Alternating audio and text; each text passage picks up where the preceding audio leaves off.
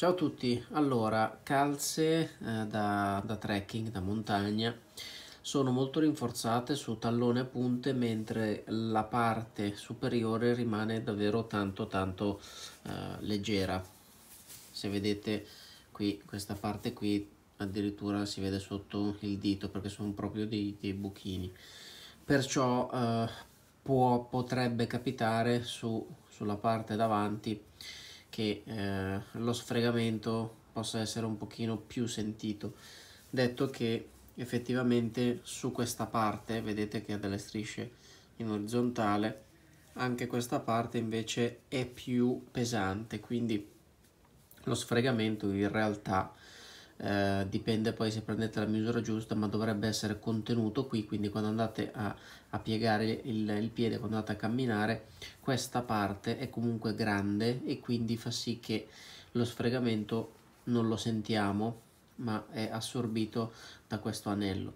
Qui come vedete sicuramente è molto sagomato infatti si vede molto molto bene L'unica cosa, non c'è la destra e la sinistra, sono calze tagliate uguali, però in realtà adesso sono solo in questi ultimi anni che sono uscite le calze con destra e sinistra, sinceramente eh, sono, sono abbastanza uguali.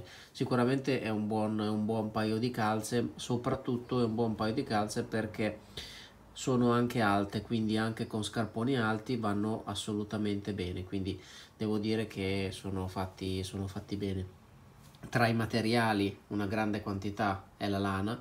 Questo fa sì che eh, tengono molto molto bene il caldo e eh, la lana inserita con materiale plastico uno dei eh, materiali migliori.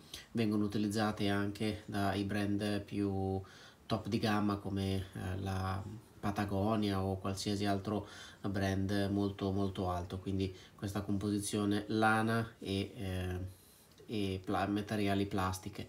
Davvero belle sì